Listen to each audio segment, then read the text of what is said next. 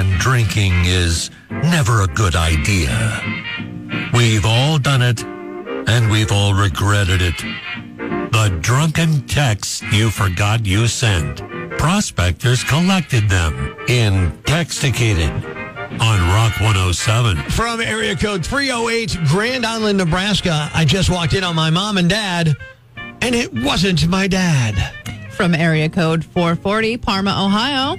I'm too stoned to be pregnant. The kicking is Morse code for wanting beef jerky. You hit send, and we hit the floor laughing Intoxicated on Rock 107. From the 949, Irvine, California, babe, the four years we've been together have been amazing.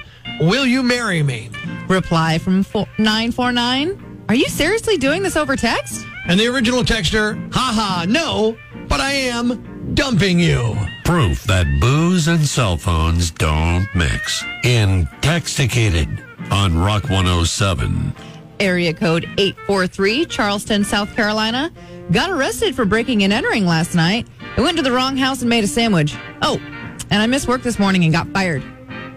From the 859 Lexington, Kentucky, I get so lonely sometimes I set my phone's alarms to go off every five minutes or so and imagine people are texting me. Hey, we found him in your telephone in Texticated on Rock 107. Breaking the news that's already broken. It's time for Prospectors Briefs on Rock 107. A list of America's least desirable jobs is out, topping the list. Publicist for P. Diddy.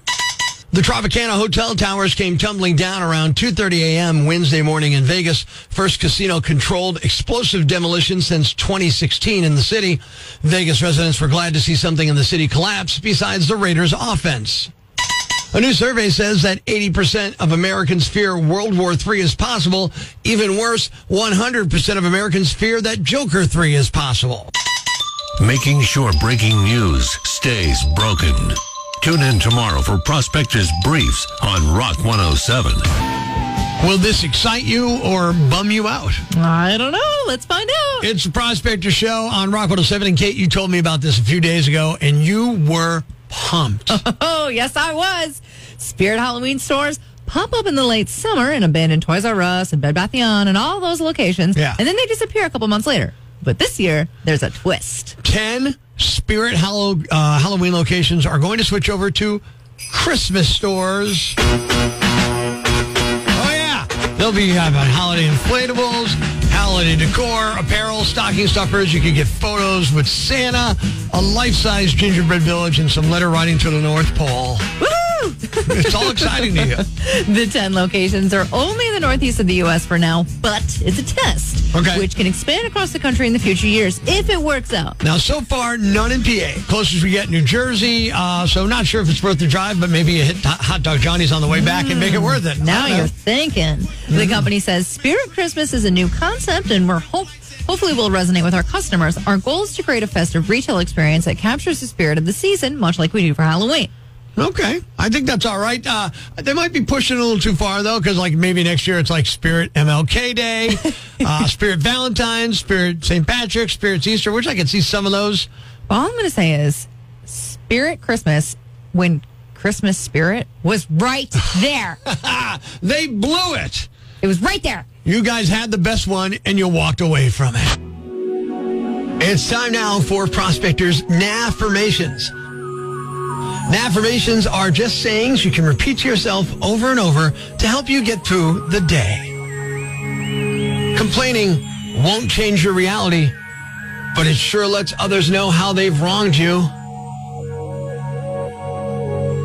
Stay tuned for more Prospectors' affirmations on Rock 107. Not have the best sense of humor, I don't get it. but whoever hired him did. Okay, you got the job. Prospector. Mornings on Rock 107. It's time to have a little fun on the phones. Good morning. I'm Rock 107's Prospector. Uh, got an email from a guy named Travis who said, Hey, Prospector, I'd love for you to prank call my brother.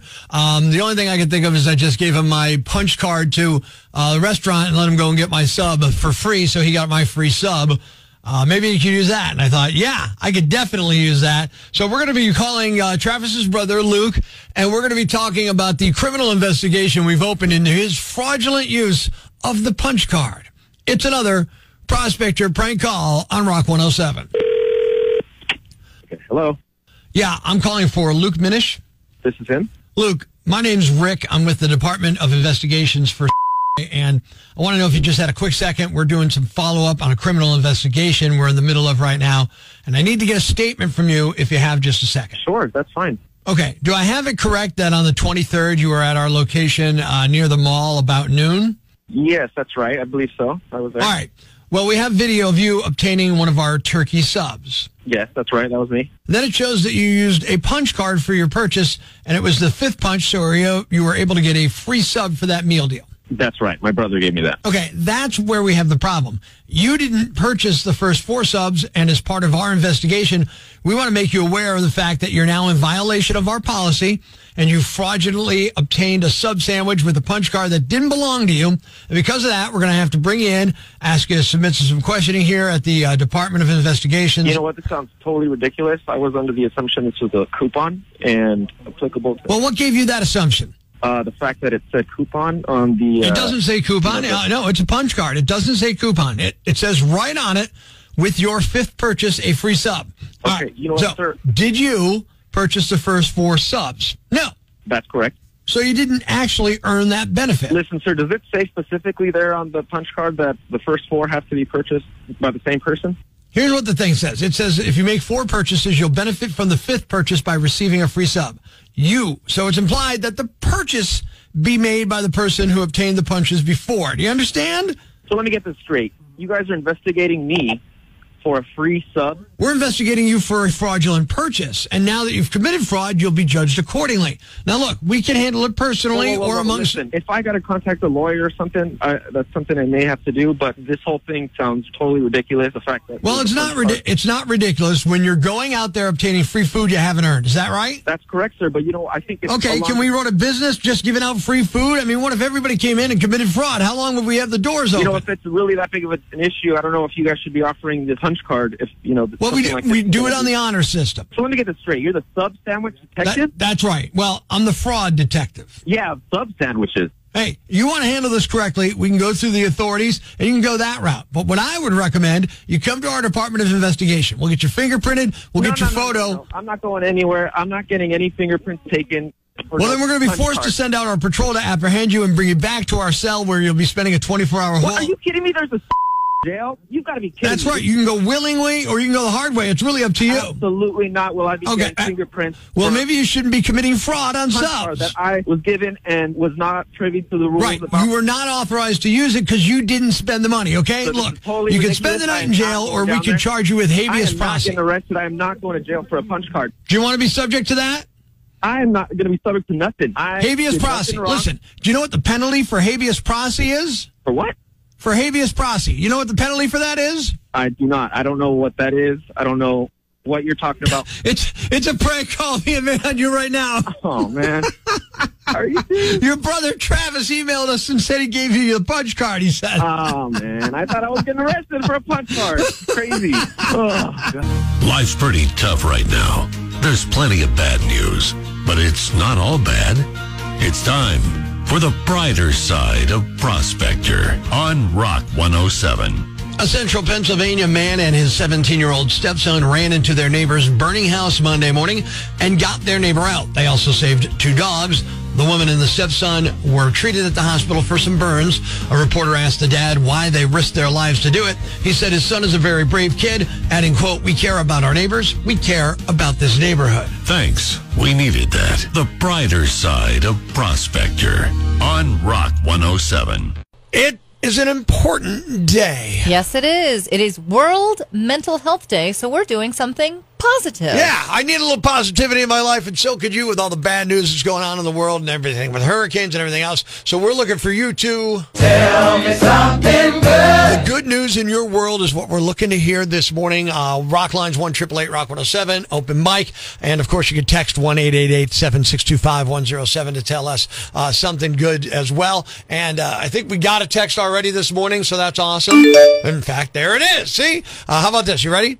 daughter just got ultrasound. My granddaughter is developing great. Woohoo!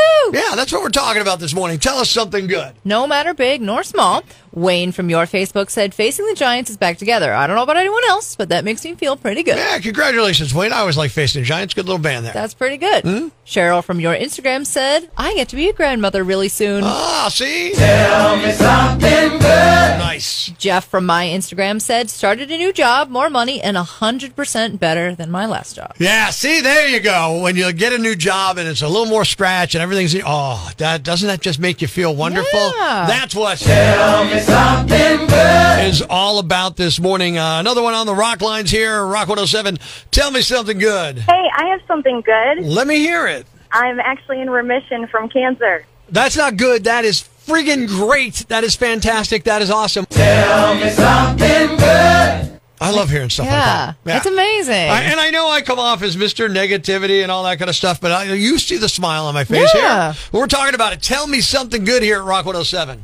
Tony said, I've pushed off major back surgery for years and I finally had it a month ago. I feel great and I'm ready for the 2025 concert season. Okay, very cool. Can good, good for you, man. Mm-hmm. Pam said, I beat cancer this year. I'm sensing a theme here, and I that's know. a wonderful theme to be sensing. We're looking for those good news, those wonderful things, that great stuff in your life. What do we got? No matter how big or small, Fred from your Facebook said 23rd wedding anniversary is on Sunday. Hello, Rock 107. Tell me something good. Hey, the Mets are going to the championship series. Oh, that is awesome. Thank you so much. It made me feel better. You feel better? I do. Thank you for. Ladies and gentlemen, grab the kids, call your neighbors, and gather round the radio. It's now time to announce the winner of Prospector's Yam Bag of the Day, as decided by you at rock107.com. We uncover the most baffling, ridiculous, pathetic, cockeyed, laughable, preposterous blunders in the world of misdeeds. Nominee number one. You can be a yam bag at any age, I guess. Although for kids under 16, I'm guessing they're surrounded by stupid adults to pick this stuff up so soon. A 10 year old boy has been arrested and booked at a juvenile detention center after he drove a stolen car through a school playground in Minneapolis. And it was not an empty area. It was packed with dozens of kids and adults at the time who could have easily been mowed down. Thankfully, no one was hurt. It's unclear if the kid stole the car or if he got it from someone else, but sadly, it wouldn't be surprising if he did steal it. He's actually been arrested twice before for stealing cars and apparently a suspect in more than a dozen other cases. Again, he's 10. The boy's family is reportedly cooperating with police and recognizing that he and they need help. Nominee number two. Here's the latest celebrity legal trouble. Cookie Monster got caught speeding in Germany. Cops in Dortmund, Germany released a traffic cam shot of a Muppet doing 60 in a 50 mile per hour zone. Although, is he really a Muppet? Anyway, there's no way he can deny it. You can clearly see it's him behind the wheel of an Audi. Now, it's not clear who the person in the Cookie Monster costume is, but it happened on September 20th. People think they staged it and got caught on purpose because they knew the photo would be funny. Cops aren't laughing, though. They put out a statement that said driving with a mask on is dangerous, and it wouldn't be so funny if you crashed and killed someone. The person could be facing multiple fines for speeding and driving with the mask on. The two fines combined would be about $100. And the winner is. The 10 year old who drove a stolen car through a playground packed with kids. You are the yam bag of the day. And I know you're just a kid, but this is beyond the pale. You'll move on to Friday's Yam Bag of the Week competition. Keep it here Friday morning for all the nominees for Prospector's Yam Bag of the Week right here on Rock 107. Thanks for listening to Prospector's Prime Cuts podcast. Be sure to catch us live weekdays from 5.30 to 10 a.m. on Rock 107 or online at rock107.com or the Rock 107 app. A free download for your Android or iPhone. Subscribe to the podcast on Apple Podcasts, Google Podcasts, Spotify, Stitcher Radio, or wherever you get your podcasts so you never miss Prospector's Prime Cuts.